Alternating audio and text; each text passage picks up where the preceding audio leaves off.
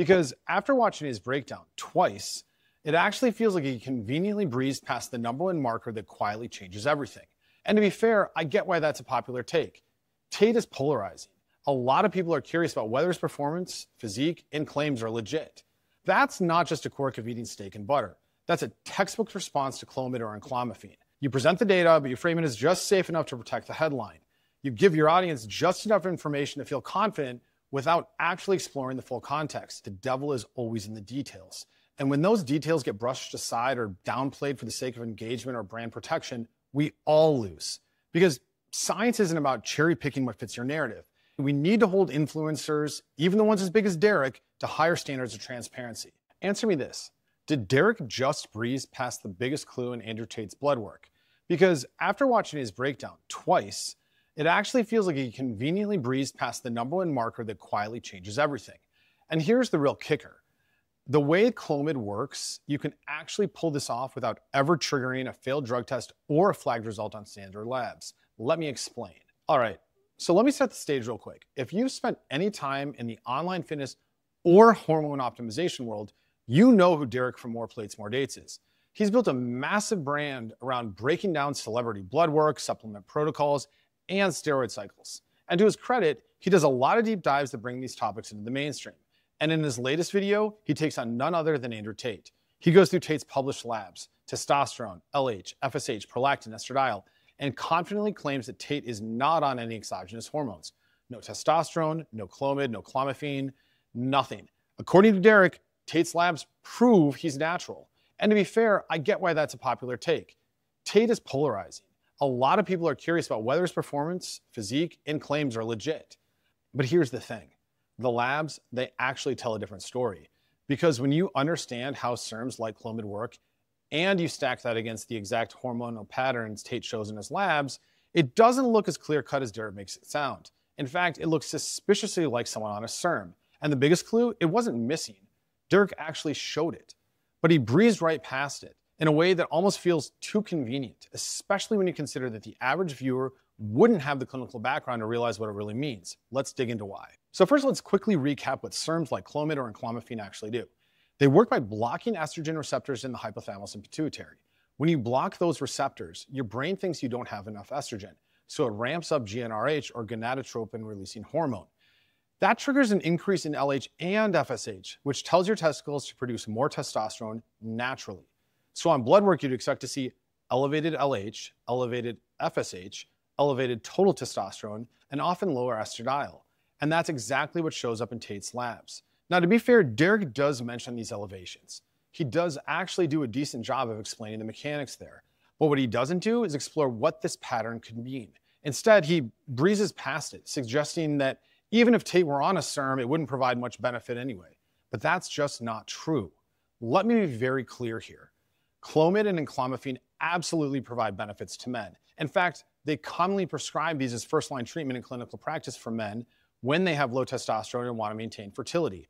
Unlike testosterone replacement therapy, which shuts down your own production, SERMs stimulate your body to produce more testosterone on its own. And what does that get you? Higher total testosterone, maintained sperm production and fertility, and potential improvements in libido, energy, muscle retention, and recovery. This isn't fringe science. This is standard practice in many hormone optimization clinics. And here's the kicker there is no FDA approved test that can detect Clomid or enclomiphene directly in your bloodstream. So someone could be on it and as long as their labs fall within the normal limits, no doctor, no influencer, and no viewer could definitively call them out without seeing the bigger pattern. And that brings us back to SHBG. So here's where things really started to stand out to me. When I first watched Derek's breakdown, I actually thought he completely skipped SHBG, like he didn't even mention it. But on second watch, I noticed he did include it, but buried it way later in the video. Tate's SHBG comes in at 54.6, which Derek frames as normal before moving right past it without much of an explanation. And to be fair, he's not entirely wrong. 54.6 is technically within the reference range. But here's what Derek didn't stop to explain. That number isn't just normal, it's high normal. And for reference, the LabCorp reported upper limit is 55.9 nanomoles per liter. So it's sitting right at the edge of the range, not comfortably in the middle, and that matters because Clomid and enclomiphene are both known to increase SHBG in many men. And so when SHBG goes up, the percentage of free testosterone goes down, even if total testosterone looks great on paper. And when you know it, Tate's labs already show a low free T percentage. Now, Derek goes on to try to explain why, you know, how SHBG could be elevated because Tate is on a low carb carnivore diet, which is technically true. Low carb diets can push SHBG higher. That's a real documented effect. And as an aside, this is what I saw with my own labs when I was on a similar diet. But here's the problem with stopping there. Would we really expect SHBG to be sitting at the high 54.6 from diet alone? Maybe in some people, sure. But when you start to stack that on top of elevated LH and FSH, as well as elevated total testosterone with a low free T percentage, it starts to look a lot more like SERM driven physiology, more than just a diet effect. Because when you see high normal SHBG, high gonadotropins, high total testosterone, and low free T percentage, that's not just a quirk of eating steak and butter. That's a textbook response to Clomid or enclomiphene. And the fact that Derek showed the number but never even suggested this possibility it feels negligent at best. That's what I would call a sleight of hand. You present the data, but you frame it as just safe enough to protect the headline. You give your audience just enough information to feel confident without actually exploring the full context. And honestly, that's what I think Derek got wrong. And this really brings us to this larger conversation about transparency in health content. Because while I'll give Derek credit for bringing complex topics to the mainstream, this isn't the first time his credibility has been called into question. We've seen it with the whole turkesterone situation, where he promoted it as the next big muscle building breakthrough, despite the fact that the science didn't really back that up. And let's not forget the independent analysis performed on his own turkesterone supplement, which showed no detectable turkesterone at all. And this was according to third party GC mass spectrometry. And moving forward, even more recently, Greg Doucette basically gave a supplement breakdown that exposed several of Derek's Gorilla Mind products, which are marketed com- for completely different goals, actually share the same exact chemical composition based upon GCMS analysis. And now, with this breakdown at Tate's labs, it feels like we're just seeing yet another example of Derek glossing over inconvenient details to protect a viral headline. And look, I'm not here to cancel anybody, but I am here to remind you that the devil is always in the details. And when those details get brushed aside or downplayed for the sake of engagement or brand protection, we all lose.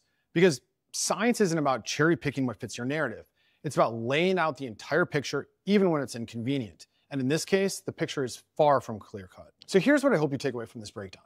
First, blood work interpretation is nuanced. Elevated LH, FSH, and testosterone could be natural, but it could also be SERM assisted.